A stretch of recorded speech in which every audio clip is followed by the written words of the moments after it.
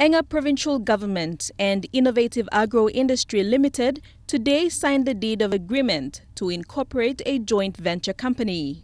Through this joint venture, they will establish an agro-industrial services and training center at Sirunki, Enga Province. It will provide training and supply seeds, fertilizers and equipment that will service the smallholders. It will also comprise of a storage, packing and distribution center.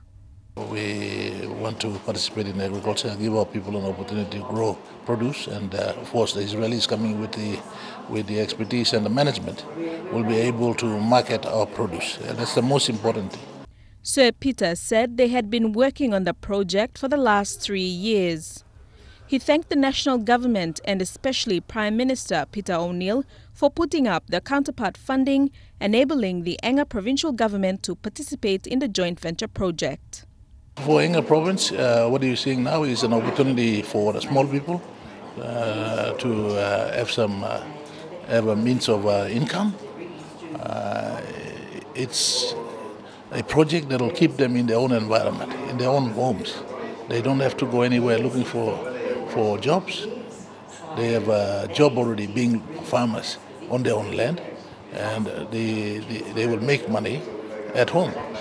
In the meantime, Sir Peter said as part of the Agro-Industrial Services project, the Enga provincial government is also looking to set up an Enga microbank. The microbank will start to give loans of up to 5,000 kina to smallholder farmers who engage in agriculture. Delhi Waigeno, National, MTV News.